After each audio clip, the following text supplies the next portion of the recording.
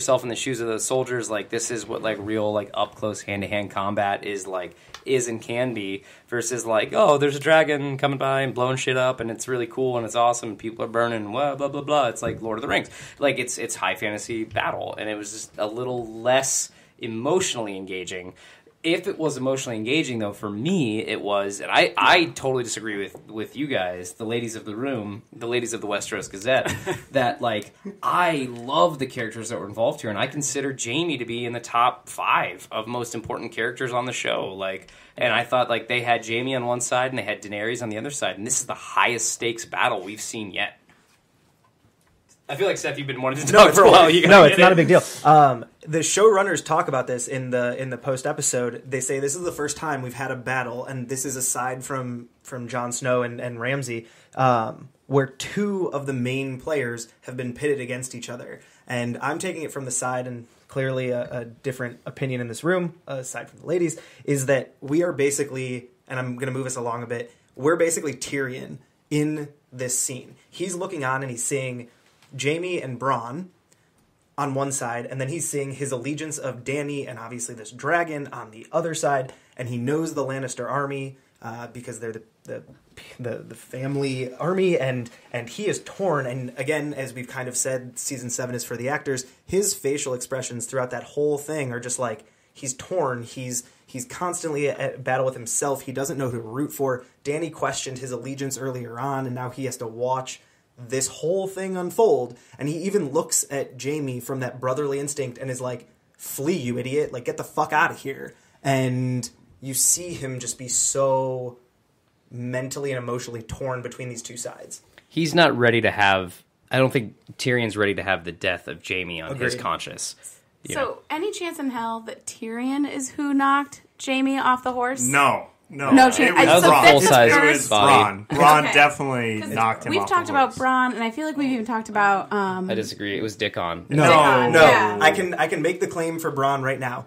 There's a point where he gets knocked down. He after uh, Drogon just fires and then whips the shit with his tail uh, out of the scorpion, and Bronn looks at this white horse, and then the white horse comes with the guy who's not clad in armor, who Dickon was, and Bronn is the one who Yeah, takes but- him off Yeah, the, no, I the Dickon's horse. dead. Bronn is the one. But who I watched it Jaime again, and the horse. dude, they both look like they have armor on. That's the only kicker. But and they it don't. could even We be, will we will like- absolutely find out next. I'm next pretty sure episode. they do. So to back up like a second, Yeah. before Bronn got to the tool, the weapon, right? Scorpion. Scorpion. Such a cool Coolest name. weapon Such a cool ever. fucking name. the scorpion, and like that whole like terrible scene where the Dothraki um, cuts off the horse's leg and he falls. That was balls. So the only reason I can like bring this up is because we it was like just on in the background and I noticed it. They spent a long time, and by a long time I mean like almost three seconds, which for Game of Thrones I feel like is a long time.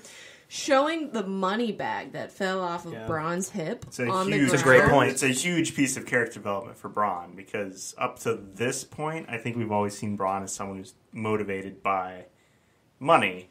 But then all of a sudden, what happens when Bronn's motivated by something that's not Friendship. money? So, so maybe that's it. So I was like, Friendship. they had to have shown that for a reason because they showed the money, they showed the look on Bronn's face, they showed the money, and then they showed the look on his face again. And I was like, that has to mean something, And but I don't know at what. Even at the- point, At the, was front, it at the front of the episode, he's even talking about gold not being enough and wanting a castle. And was it for gold or was it for his own self preservation? I think that's where we're at with Bronn right That's now. That's a really I I, I, and I to, to tie together what Seth was saying with what Kendall was just saying too was like he looks at the he looks at the gold he looks at the and he looks at the horse and then he like gets on the horse and he chooses the horse which means he probably chose to go save Jaime which brings in John's point of saying like you know he's gonna do something other than he's gonna choose something other than the gold this time around have we ever known him to do that no but this time he chose friendship he chose loyalty to Jaime because he knows that maybe you know it- I still think it was self preservation though. I don't Yeah. think it was just like Jaime, but yeah, he's he's choosing not to go for the gold because he knew he might die if he does that. So he's got to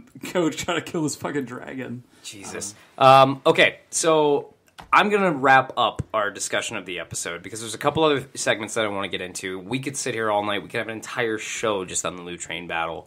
It was fantastic. One of the better, and overall, this seems like one of the better episodes of Game of Thrones in in recent memory. Maybe it's got to be in the top five, you know, of, of best episodes that we've seen. Okay.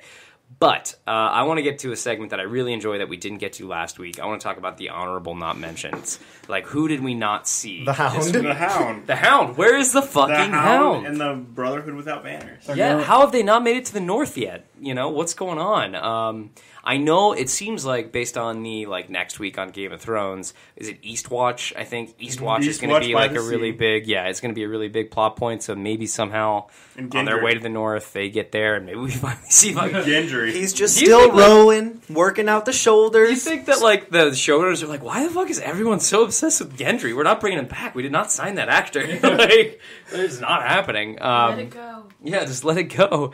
Uh, so, so yeah, so the, where's the Hound? Where's the Brotherhood without banners? Um, and then this week too, we didn't see uh, Jorah and Sam. You know what's going on in the Citadel and, and what's their next move. In fact, where did we leave that? Do you guys remember? Probably because they spent way too long showing him in a past episode. Yeah. Oh god. No, yeah, He- that was he's gross. unrolling Yes. those uh, anti ant squirrel uh, scrolls. Yeah. those Yeah. mite scrolls. Jorah's on his way back to Dany. Sam's cleaning up some old scrolls and They got to be together though, don't you think? Like, No. No. you don't think they're journeying together? Jorah is on his way back to Dragonstone. which is going going to be great when he gets there and Dany's not striking there. up a romance Yeah. with uh, Jon. Oh. Let's just Yeah. say, I want to point this out. So, Jon took over uh, for Jorah Mormont as Lord Commander of the Night's Watch. Jeor. He- or sorry, Jeor. Jeor. Uh, he has Jorah long, Mormont's father. he has Longclaw, which is the Mormont Valyrian sword, and now he has Dany. He has taken three things that Jorah wants. Can you guys imagine that? Oh. Imagine this in the uh, Road Rules uh, challenge or whatever we're talking Oh about. they would be going head to head in that elimination to send somebody home. Seth, you just blew my mind. Imagine. Okay, so Oh I'm my going to give credit God. also to Reddit because I did see that there. So not my own theory. That's all right. Got to man. throw that out there. That's like that really blows my mind. Like imagine Jorah meeting Jon Snow and he's like, "Oh, you stole my girl. That sucks. Wait, where'd you get that my sword? sword. My dad gave it to you because he's proud of you. He ostracized me. like, oh shit. That's Same way deep. that That's somehow deep. Dickon is the, the favorite son of Randyll Tarly versus Sam. Look Yeah. at that in the Oh same my boat. So, so one thing I'm really curious about that we didn't see is like the Euron Grey Worm end up at Casterly Rock. Another I great one. Yeah, Yeah. because I I think that if if we're playing it real in realism, Grey Worm can't make it out of Casterly Rock, or he can't leave. I guess maybe No. he could just hold they hold up in there, but. you bite your tongue. He's gonna make it out of there. Well, no. fine. Oh, well, oh, they oh. have I- to because Missandei and Dany have many things to talk about. Yeah. The fact that we didn't see Grey Worm die means I think he's got a real shot of getting out of there at this point. You know. Well, was who- I don't who- think I don't think Euron was there to destroy. That was the Yeah, no, no, no. The silence was The there. silence was there. The so he silence was there. That means Euron was there. Yeah, but fair point. She, he's not trying to invade Casterly Rock after they take No, it. He's it's just just holding them ships. there. Yeah. just holding them there, right? But it wasn't. They're not out there to kill them. They're gonna go take. They're gonna go No, kill them no, later no. when The idea is that so it's a giant game of chess at this point, right? And I think that's the you, the uh, metaphor we're trying to play out the entire season. It's like, how can I hold your knight with my bishop? Yeah. Yeah. Um, that's true. So Euron is going to hold the Unsullied at Casterly Rock. So there's a fucking dragon coming from the other side. That's Yeah, right. what piece on the chessboard is a dragon? It's the queen, but there are like like, three four queens. queens, Yeah. out there at this point. I just want to see what three dragons will do. One dragon did all of that, and we don't even have the other two yet. All right, so real quick jump back. I wanted to see that dragon burn everything, like not just not just the Lannister army, but Jaime and all of the Dothraki and everything else too. Like, I wanted to just see it. We dominate. do have to mention the fact that the dragon didn't bob and weave a little bit better. I mean, I thought we learned that lesson Hey, from missed- the Battle of the Bastards. And He missed one arrow. Yeah. He missed one arrow, so he did better than Rickon. Oh, that scene too where the dragon like oh. puffed out his chest and has like quadruple armor. When they tried to shoot the regular arrows, though, Jesus Christ, those things are. Arrow attack was ah. useless. All right, ladies and gentlemen, it's time to move on to the last part of our show. As you know, at the last part of our show, I will present a scenario to the gang here. Today, we're going to have teams. In the interest of time, we're going to have teams. Uh, our two teams are going to be John and Joe. Beth and Seth, just because I love saying those two names together, and then We need a combo name. well, three really, three really teams. left her hanging there. Matt. three Beth is your teams, and then Kendall and I will be a team as well. And so today's game is going to be, and this was submitted by a uh, viewer by the name of Ryan. uh, to our uh, to our email, which you can too. And how do you do it, Joe? How do they reach out to us? Geeks at hotyb dot co. How do you Dot co. That is how you reach out to us. You can give us a scenario that we will read live here on the air, or just give us an idea or a, uh, Okay. a theory to talk through. They get it? Yeah. Got it. Shameless plug. Shameless plug. All right. Lots of plugs. So, getting into it today, as submitted by listener Ryan. If you had to build your war council, just like, uh, or just a council in general, just like all of the kings on the show have done, Tyrion has become the hand of the king to Daenerys.